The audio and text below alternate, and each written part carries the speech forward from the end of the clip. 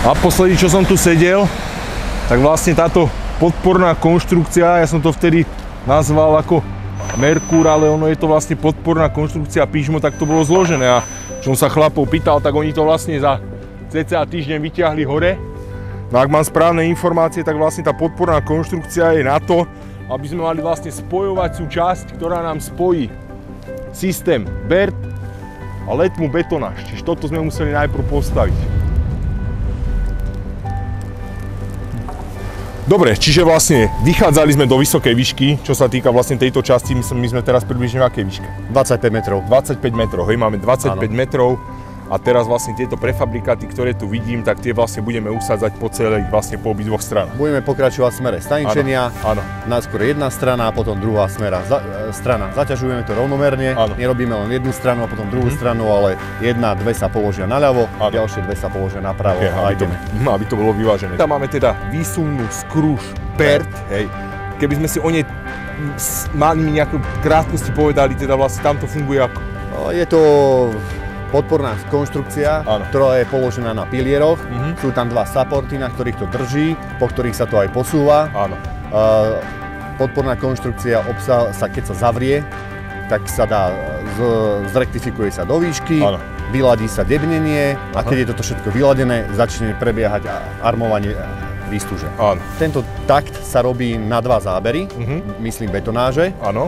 lebo robí sa spodná doska so stenami, ano. to je prvá etapa, uh-huh. a druhá etapa sa robí potom horná doska. To, keď si to predstavím, celá táto konštrukcia rieši vlastne tento pás. Rieši ano. komoru tohto mosta, ano.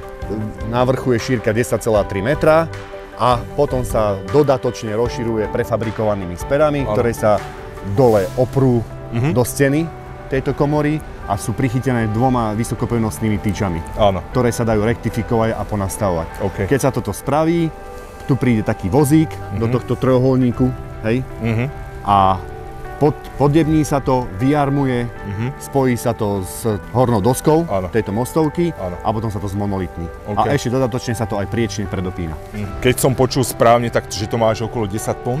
10 tón má, áno, 10 táto jedna spera. Jedna, 10. normálne jedna spera má 10 9, 9, keď chceme presne 9,8, no. ale môžeme uh-huh. hovoriť o 10 Jasné, OK. Na celej stavbe, alebo na celej tejto estakáde je 2830 2830 spier. Na, keď sme ich začali klás na predchádzajúcom úseku, uh-huh. hej, na dilata 209.01, dilatačný celok 3, tak sme položili 4. Uh-huh. Mhm. Dneska sme sa pokúsili tiež, že ideme skúsiť, tak je, ako vidíte, ich položených 5. 5, jasné. Záleží jasné. od počasia. No. Dneska nám jasné. začalo snežiť, takže už...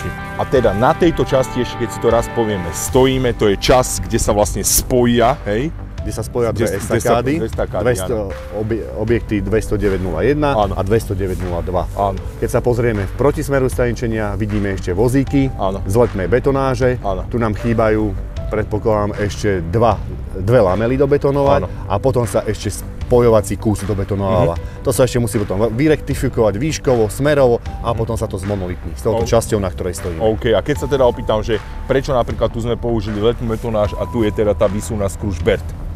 Bolo to tak do súťaže, keď sme išli. Aha, okay, Hej, čiže to už, to už sa hovorí, to aby bolo viacej vtedy... použitých technológií. Okay, Bola to požiadavka aj z vašej strany. Asi nemáme toľko to berdov, 10 na Slovensku alebo koľko, hej, že čo vieme využívať, čiže preto sa to takto podelilo. Tak, Aha, a ďalšia vec je, je to veľmi dlhá estakáda Áno. a dlho by to trvalo napríklad ano. týmito dvomi skružami stávať. Takže ano. niečo sa robí výsovnou skružou, niečo sa robí letmou betonážou a na konci úseku vysúvame most. Áno, čiže tri technológie na to, aby sa vlastne urýchlila výstavba. Super. Áno, tak. Uh-huh. Uh-huh.